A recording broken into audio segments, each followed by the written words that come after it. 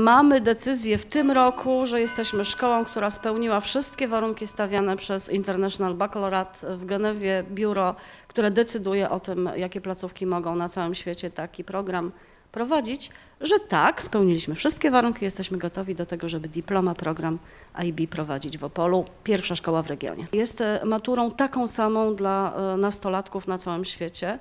E, Różni to ją od polskiej matury przede wszystkim, na co chciałabym zwrócić uwagę, że kładzie nacisk na umiejętności.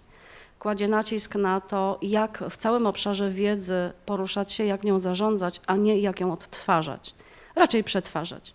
Liczy na samodzielność, bardzo dużą odpowiedzialność uczniów. To są te dwa ostatnie lata naszego mm, liceum, e, czyli już prawie dorosłych ludzi, i tę umiejętność otwarcia, samodzielności, dobierania i przedmiotów, i tematów, bo tak naprawdę program układa sobie uczeń. Matura międzynarodowa to taki program, który funkcjonuje na całym świecie i certyfikowany jest na całym świecie.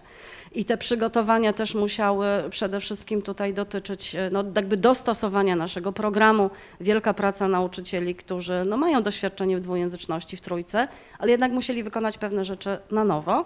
Natomiast jak będzie oceniana? No, po tych dwóch latach nauki e, jest matura, trochę w innym terminie niż nasza polska matura.